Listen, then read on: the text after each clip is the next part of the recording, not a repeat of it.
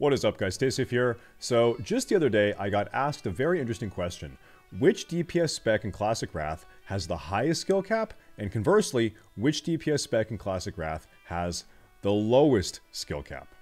Now, this is a really hard question to answer, and I already know this will be a controversial video because no one wants to hear that their spec is low skill cap, but I think we can actually use some data taken from Warcraft logs to try to answer it in the best, most holistic way possible.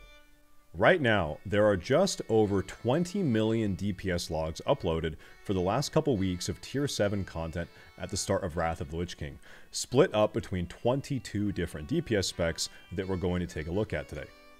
Now, Warcraft Logs does something really cool in how it gives us this data as an aggregate. It gives us quartile-based performance metrics for every single DPS spec, which we can use to make comparative statements like the difference from Feral Druid's lower quartile to upper quartile is greater than the difference from the Ret Paladin's lower quartile to upper quartile.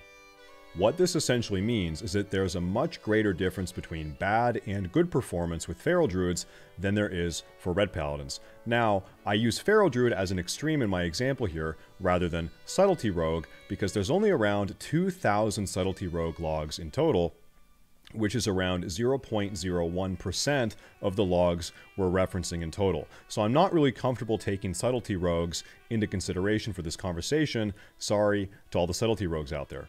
Anyway, does a wider quartile range actually mean that one spec has a higher skill ceiling or higher skill cap than another spec? I would say pretty much yeah.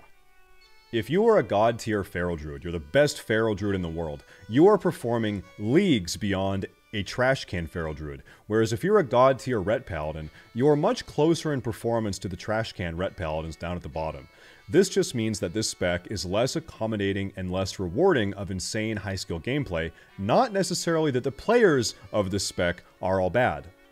This ranking also is in no way reflective of what spec does the most damage or has the highest DPS, only what specs seem to have the highest skill ceiling or skill cap. So to throw some specs out there, I'd say that the top three DPS specs in regards to skill ceiling or skill cap are Feral Druid, Combat Rogue, and then Unholy Death Knight. Then, that the lowest three DPS specs in regards to skill ceiling or skill cap are Ret Paladin, Arms Warrior, and Elemental Shaman. Anyway, guys, give me your opinion on this, especially those of you that play multiple classes and multiple specs. Personally, I've played Feral Druid in the past, and I play Warlock now, and I'm 100% certain that Feral Druid is more difficult than Warlock, and you guys know that I have a Warlock bias.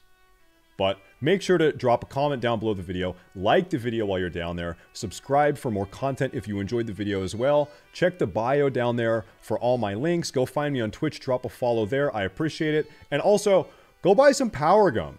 And as always, guys, stay safe.